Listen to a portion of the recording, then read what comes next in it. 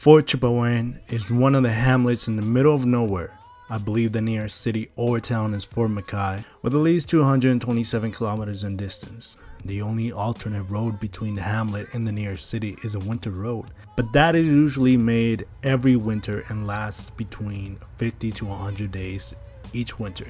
Sometimes it depends on the day. Sometimes it's it's probably longer. Sometimes it's, it's, shorter. It depends on the year and you know the amount of time it's cold and it snows. Right. Another alternate route would be going north through a small road heading towards Fort Smith. From Fort Smith, hey, head east bound to Hay River and proceed going south. If you want to make it to Edmonton, right? The winter road consists of 200 kilometers of road between Fort Chipewyan and Fort McMurray. This road consists of four river crossings. In fact, the ice has to be at least one meter thick for a commercial cargo vehicle to cross the river. Don't think for one second that the roads are nice and beautiful. Hell no, man. The roads are bumpy, rough. The tractor was twerking out of existence from the video that I was, you know, shown. Now, before obviously, you know, crossing, there are a couple important rules and recommendations that you should follow up. One of the rules, you know, that was shown on the sign here was to start off the max weight you should be crossing and you should read before passing on these, uh, what do you call the ice river bridges is 45,000 kg kilograms, uh, roughly about 99,000 um, pounds or 100 let's let's say 100,000 pounds but you know the limit wouldn't be that. Cell phone service is limited but you know through phone calls with uh you know my father and the service was, was all right. I believe it was just certain sections in the road where it just he didn't have enough uh, like good service.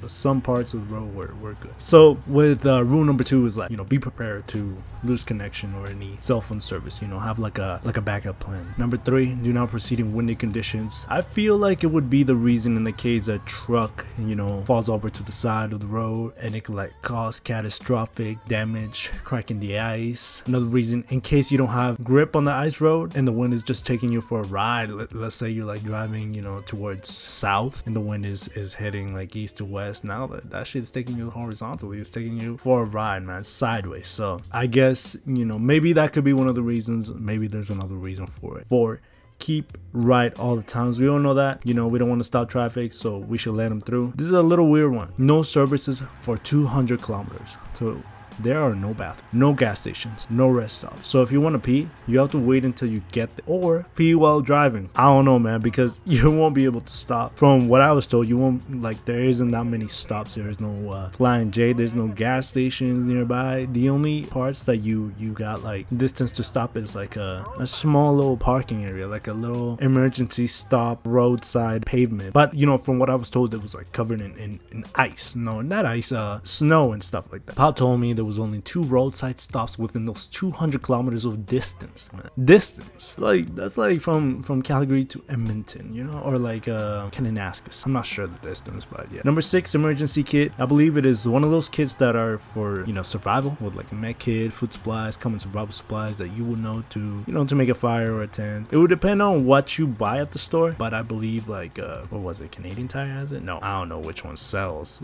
like uh, tents like that, survival kits or something like that. But you you have to specify on the store, right? Seven, no parking on the road or ice bridge. Pretty obvious, you don't want to stop traffic or stop in the middle of ice bridge, you know, too much weight could crack it. Ship is going down, you know, you're swimming for, for your life.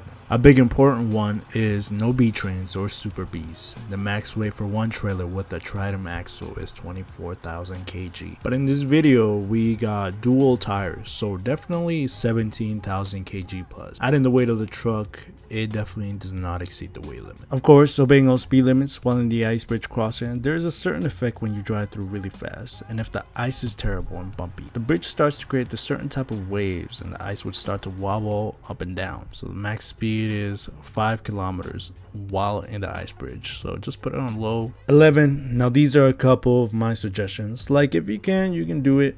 Do not drive alone. That is an essential. Have a partner from the same company with you in a convoy or you know take somebody with you in the truck you know just so you're not alone you know. So you have a helping hand out there. In case something an emergency happens you're just there while somebody's helping you out. Let's say you know you get stuck in between the wheel or something like that. then that other partner that you took with you or that convoy helper or something like that could help you out. Just a suggestion because it seems that there there isn't a lot of cars passing by. Who knows how long it will take for the next vehicle to pass by or an emergency vehicle or anything like that. Even if you have, you know, call somebody. Who who knows how long that could take them to get there and you know what if it's like a life or death situation you know what i mean? Uh 12 i would really suggest to not pass on through after 5 p.m nighttime in alberta is around that time and it could be dangerous due to one other fact that yeah what if your lights are terrible? What if you cannot see on the road? Animals are crossing by you know what i mean? And you know you end up hitting up an animal middle of the dark. It totals your vehicle and you cannot keep on driving through. You're gonna wait a long time for your vehicle to be towed up or something like that or to be inspected by a mechanic so it's better you know just to drive while there's daylight and you can see everything that's going around, you know, in, in your sight of zone, right? Number 13, fuel up. Grab some supplies in a city nearby. I suggest Fort McMurray or Fort McKay. Before getting onto the winter road, just to be ready for anything because there are no regular patrols and stuff happens sometimes. You do not want to end up in a pile of snow or stuck on the snow without fuel. It is a big essential, both for cars and semi-tractors. It is very needed in the case where you cannot move and you have the vehicle to keep you warm. Now, you know, the experience for my father was phenomenal. He loved it, was intrigued by it, and I believe this was his first time crossing an ice river bridge. Obviously, nothing compared to the ones in the Northern Territories or Alaska, but still just as dangerous. Who knows what the heck could happen? This experience taught him a valuable lesson, and that is one to never come back again, or else the truck will fall apart. You know, like like Bumblebee falls apart in that uh, one movie in Transformers, something like that, man. But he would like to come back with like a a truck where he knows it's reliable but his you know is, is getting old right? Plus he, he does his own maintenance so it, it's not like he got a, a shop available where they could just fix the truck every time he gets you know on a saturday night. That's the end of the video man. That's everything for today you know. See y'all on the next one.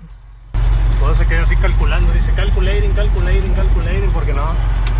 Bueno ya salimos. Continuamos